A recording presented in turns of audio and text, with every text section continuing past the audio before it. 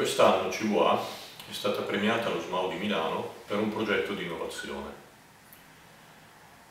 Il progetto nasce qualche anno fa, nel 2011, quando sui nostri impianti, che hanno un'età media di oltre 70 anni, abbiamo deciso di andare a rinnovare i sistemi di regolazione e di controllo. Abbiamo deciso di adottare una strategia un po' controcorrente rispetto a quello che succede nel nostro mondo, in particolare perché abbiamo puntato sul fatto di interiorizzare le competenze per la progettazione di questi sistemi in modo tale da far progettare i sistemi alle persone che gestiscono questi impianti.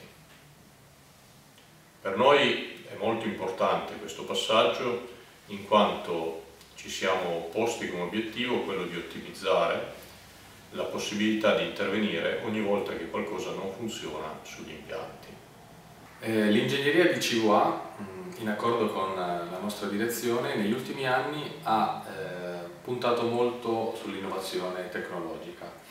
eh, con l'obiettivo di interiorizzare tutta una serie di competenze e unificare i nostri sistemi automatici stiamo andando eh, in controtendenza eh, rispetto agli altri player. Eh, per quanto riguarda gli ultimi anni abbiamo potuto eh, portare all'attenzione del nostro management i grandi risparmi, i grandi saving che eh, si sono potuti avere eh, nell'ambito dell'innovazione tecnologica e interiorizzare le risorse ha permesso di poter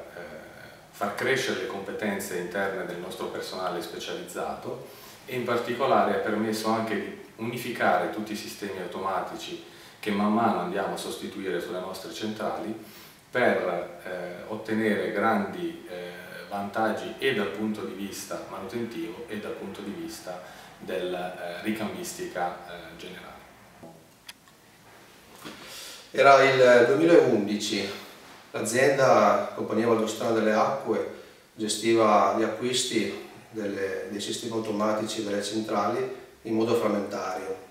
Avevamo sui nostri impianti una svariata quantità di sistemi automatici, tutti diversi tra loro. L'idea geniale che ci è venuta era quella di, di porci l'obiettivo di padroneggiare in toto i sistemi automatici. Per fare questo abbiamo dovuto affrontare delle sfide decisamente ambiziose.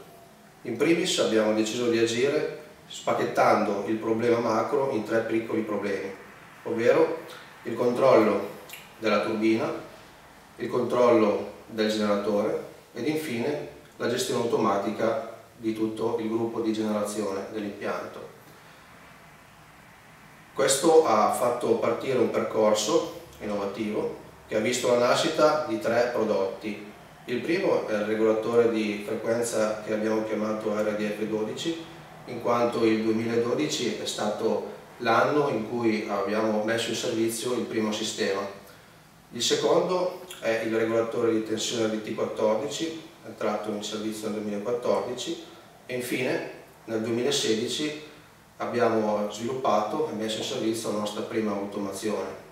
Questi tre sistemi insieme come dicevo prima, fanno sì che l'intero gruppo idroelettrico possa funzionare in modo automatico. E per noi è una grande soddisfazione raccogliere questo, questo premio innovazione perché eh, vuol dire eh, avere il riconoscimento di un lungo percorso ormai durato nove anni e per me è anche un orgoglio personale aver eh, avuto la possibilità di esprimermi in questa azienda e di aver visto anche aumentare, crescere la nostra famiglia di innovation.